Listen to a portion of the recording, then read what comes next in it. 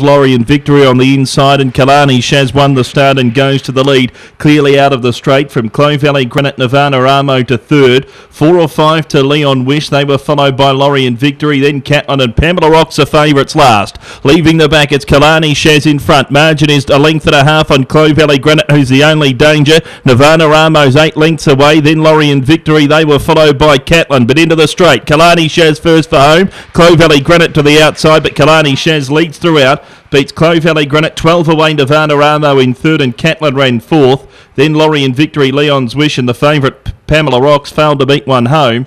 They ran uh, 30 and 41.